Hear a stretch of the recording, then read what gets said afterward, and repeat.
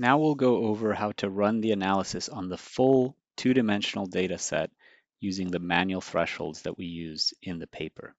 So to do that, I've already run the cleanup macro, and I'm going to open the full data set in a concatenated form in this file, which is wild type minus DNA time 1 to 40, wild type DNA time 41 to 80.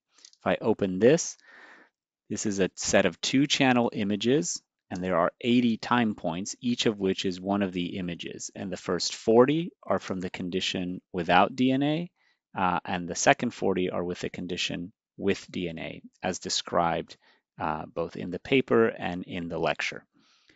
So we have this. We can now run BIOP JACoP on the uh, entire data set. I'm going to open BIOP JACoP we are going to assign the channels, use the manual thresholds, the same values that were used in the paper, a manual threshold of 40 for channel A and of 114 for channel B.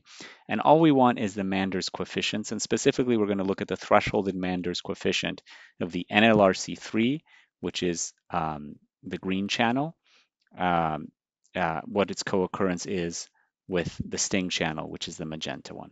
So I'm going to say OK. This will create a table of results. It is logging everything it does, and then it will create one report for each of the 80 images. So now you'll have a lot of images, uh, but really we care about these results. And this thresholded M2 is the value that is the same thing that we measured in the paper, except in the paper we did it on three-dimensional data sets. So here this is on a two-dimensional data set, only a single slice of those 3D stacks to make it more manageable for distribution with these exercises. So I'm going to save this uh, on the desktop. And uh, I'm going to open it. That's just a comma separated values file, so it can be opened in Excel.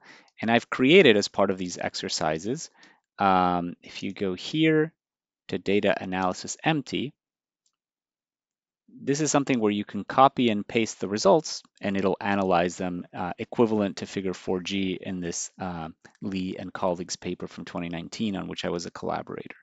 So we can grab the threshold M2 value and we want to do this on the first 40. Those are going to be the, the uh, wild type without DNA. So um, it's going to be these ones. I'm going to copy those and paste them here. And then I'm going to grab the second 40 and paste them here. And so you can see this is the distribution of the Manders coefficients in the absence of DNA. And you can see as you add DNA, the co-occurrence goes down mirroring what we saw in the paper with a subset of the data. Instead of doing it on 3D, we did it on a 2D subset. So um, once you have this, um, you can try the analysis in a different way and just to see how robust it is to changes in the decisions you made. So I'll just show you one example of this, um, which is what if we did it instead of with manual thresholding with an automatic thresholding method, specifically OTSU. So we can do that here um, I will uh, run the cleanup um, macro because now there's a lot to clean up. Um, I will go ahead and open the data again. I'll open BIOP JACoP again, but instead of using the manual thresholds, I'll use OTSU for both channels. If I say OK, you can see that, um, let's let this complete. It tells you what thresholding method it was using. It tells you the thresholds that it found, which now instead of always being 40 for A and 114 for B, um, vary across images. And then these are the thresholded M2 values. So I'm going to save this as results OTSU. Okay. Um, and I'm going to open that.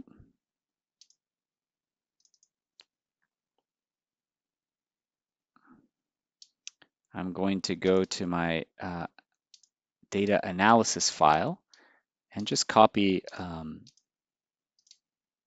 this worksheet. And so I'm just going to call this analysis Otsu. And I'll delete all of these. And so now if I go to the results Otsu, I'll grab for thresholded M2, the first 40.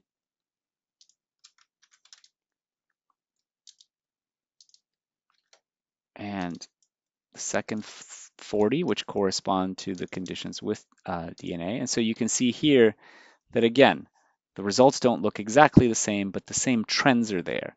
So um, even though, uh, so in the paper, as I described, we use manual thresholding on the 3D data sets, and we were able to get the same sort of directionality of the result uh, and even statistical significance doing the same kind of thresholding, but only on a subset of the data, two-dimensional, and then doing a completely different thresholding approach, image by image using the Otsu method, again, on the 2D data set.